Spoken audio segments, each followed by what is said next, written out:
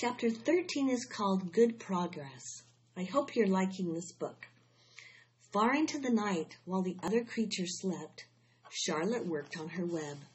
First, she ripped out a few of the orb lines near the center. She left the radial lines al- alone.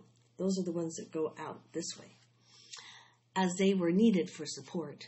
She worked. Her eight legs were a great help to her. So were her teeth. She loved to weave, and she was an expert at it. When she was finished ripping things out, her web looked something like this.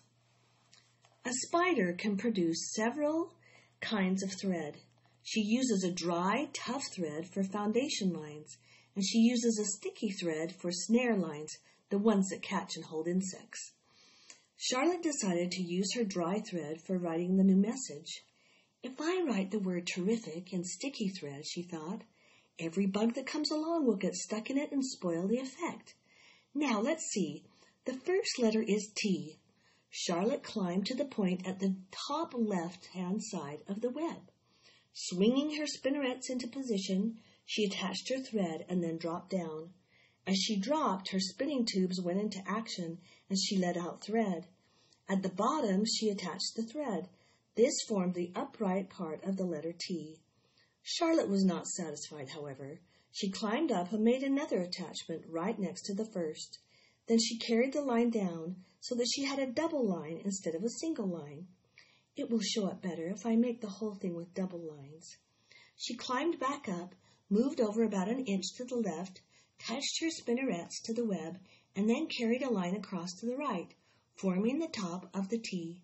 She repeated this, making it double. Her eight legs were very busy helping. Now for the E. Charlotte got so interested in her work, she began to talk to herself, as though she was to cheer herself on. If you had been sitting quietly in the barn cellar that evening, you would have heard something like this. Now for the R, up we go, attach, descend, pay outline, whoa, attach, good, up you go, Repeat, attach, descend, pay out line. Whoa, girl, steady now. Attach, climb, attach. Over to the right, pay out line. attach. Now right and down, swing that loop and around and around. Now into the left, attach, climb, repeat. Okay. Easy, keep those lines together. Now then, out, down for the leg of the R. Pay out line. whoa, attach, ascend, repeat. Good girl. And so, talking to herself, the spider worked at her difficult task. When it was completed, she felt hungry. She ate a small bug she had been saving, and then she slept. Next morning, Wilbur arose and stood beneath the web. He breathed the morning air into his lungs. Drops of dew catching the sun made the web stand out clearly. When Lurvy arrived with breakfast, there was a the handsome pig, and over him, woven neatly in block letters, was the word terrific. Another miracle. Lurvy rushed and called Mr. Zuckerman. Mr. Zuckerman rushed and called Mrs. Zuckerman. Mrs. Zuckerman ran to the telephone and called the Arables. The Arables climbed into their truck and hurried over. Everybody stood at the pig pen and stared at the web and read the word over and over while Wilbur, Wilbur, who really felt terrific, stood quietly swelling out his chest and swinging his snout from side to side. Terrific, breathed Zuckerman in a joyful admiration. Edith, you better phone the reporter on the Weekly Chronicle and give him, tell him what has happened. He will want to know about this. He may want to bring a photographer.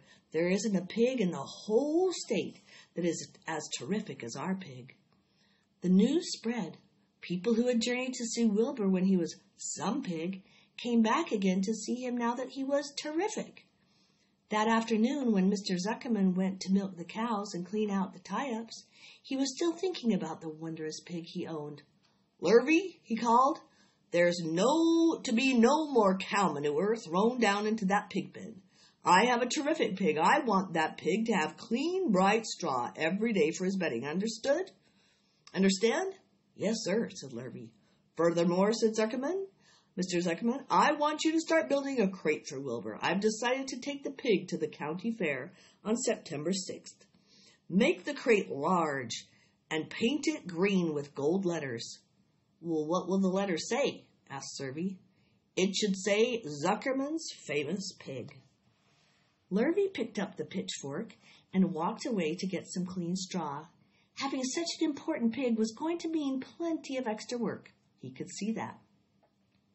Below the apple orchard, at the end of a path, was the dump where Mr. Zuckerman threw all sorts of trash and stuff that nobody wanted anymore.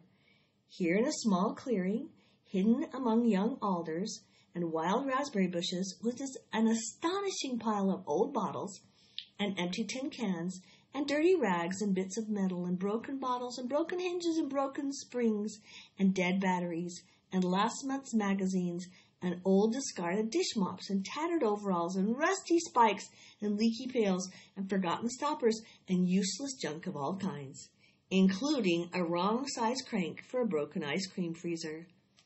Templeton knew the dump and liked it. There were good hiding places there, excellent cover for a rat, and there was usually a tin can with food still clinging to the inside. Templeton was down there now, rummaging around.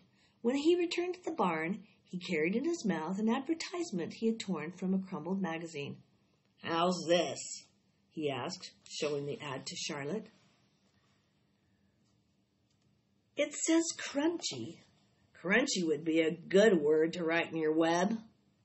Just the wrong idea, replied Charlotte. Couldn't be worse. We don't want Zuckerman to think Wilbur is crunchy. He might start thinking about crisp crunchy bacon and tasty ham.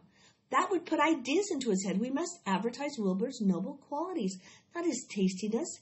Go get another word, please, Templeton. The rat looked disgusted. He sneaked away to the dump and was back in a while with a strip of cotton cloth. How's this? he asked. It's a label off an old shirt.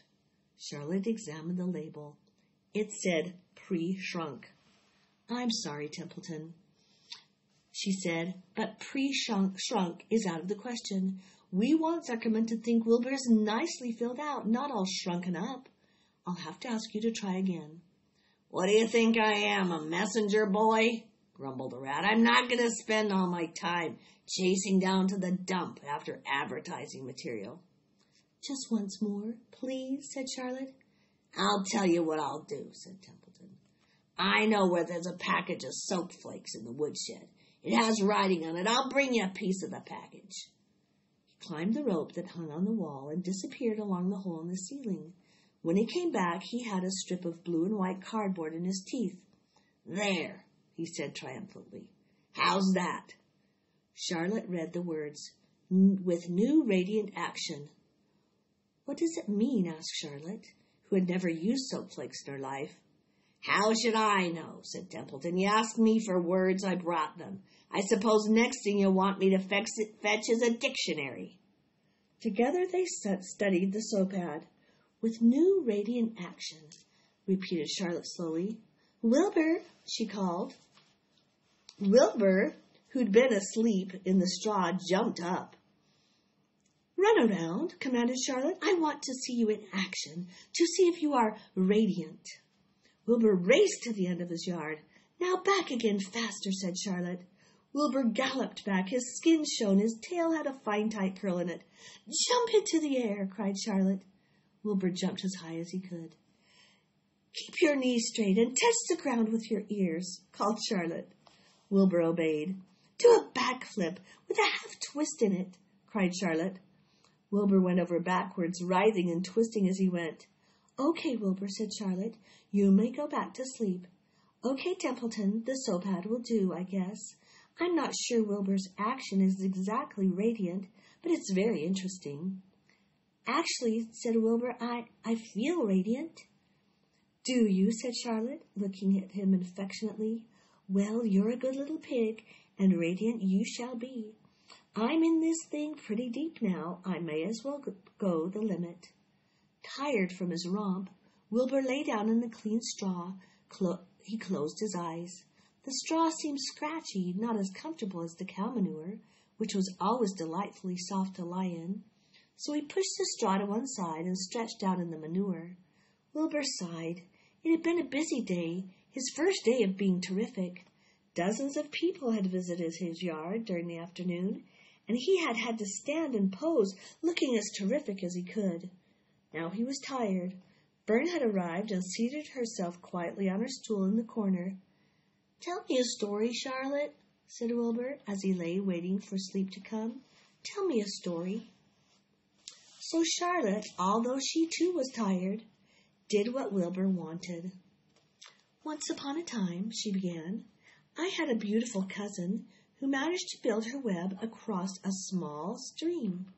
One day, a tiny fish leaped into the air and got tangled in the web. My cousin was very surprised, of course. The fish was thrashing wildly. My cousin hardly dared tackle it, but she did.